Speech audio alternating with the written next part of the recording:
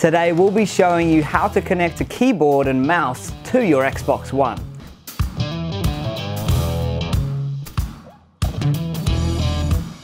Hey guys, it's Joel here with Make Tech Easier. Microsoft has worked hard to make the Xbox One more than just a video game console by emphasizing the Xbox One as a true multimedia machine integrating gaming, video streaming, web browsing and more. It's only natural that the Xbox One would support a traditional input method like a keyboard and mouse. The idea of using a keyboard and mouse for a home console may seem bizarre to some, but it actually makes a lot of sense. Inputting text would be a lot easier as would navigating the UI and the menus.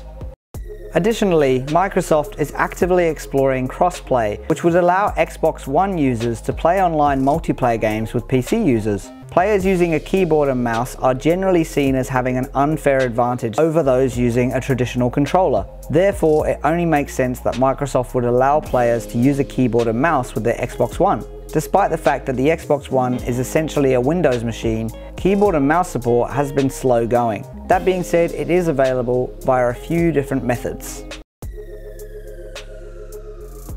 Both wireless and wired USB devices are compatible with the Xbox One. Xbox One owners can start using a USB keyboard and mouse by simply plugging them into a free USB port on the console. The Xbox One will automatically recognize the devices and can be used straight away.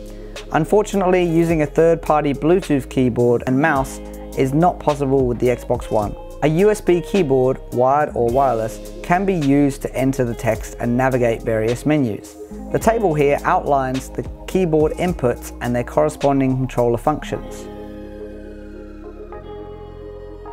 While Microsoft seems more receptive about letting Xbox One owners use a keyboard and mouse, Compatibility really depends on the developer. Text input can be achieved via the keyboard in most games and apps. However, the same cannot be said about the mouse. Curiously, some apps that lend themselves to mouse navigation have the feature disabled, like the Edge web browser. This forces owners to use the Xbox One controller to control the on-screen pointer, which is awkward and cumbersome.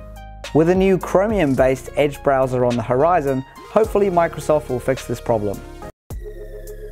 On apps that do have mouse support, users can configure their mouse by navigating to Settings, Connect and Devices. Here, users can change the mouse pointer speed and swap the primary and secondary buttons. Earlier this year, Razer, the company known primarily for PC gaming peripherals, announced they had partnered with Microsoft to create a wireless mouse and keyboard setup for the Xbox One, dubbed the Turret. The keyboard and mouse combo will feature a dedicated Xbox key that allows users to access the Xbox One dashboard. In addition, the Razer turret will feature Xbox dynamic lighting and a mousepad that slides out from underneath the keyboard. The Razer Turret is an impressive device and the first truly wireless keyboard and mouse designed specifically for gaming on the Xbox One. Unfortunately, the Razer Turret will set you back quite a bit. At this time of the video, the unit is retailing for $250. While Sony's PlayStation 4 also supports a keyboard and mouse, the number of games that officially support them is pretty bare bones.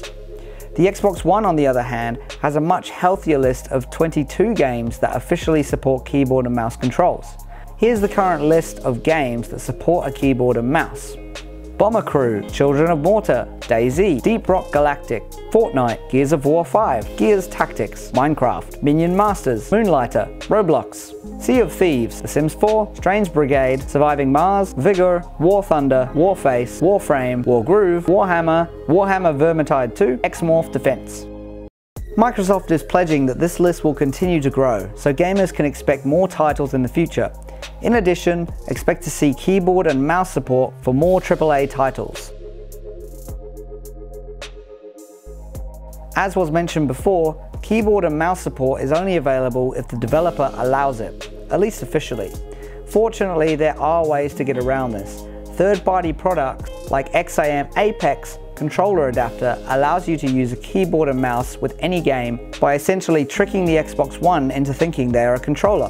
However, the XIM Apex comes with a steep price tag of $125. There are some cheaper options available, however, the XIM Apex consistently gets the best consumer reviews. Do you prefer a mouse and keyboard over a traditional console controller? Do you currently use a keyboard and mouse with your Xbox One? Let us know in the comments below. Well, that's it from me. If you love tech as much as we do, make sure you hit that subscribe button, turn the bell on, and you'll be notified by our latest and greatest tech savvy videos. See you next time.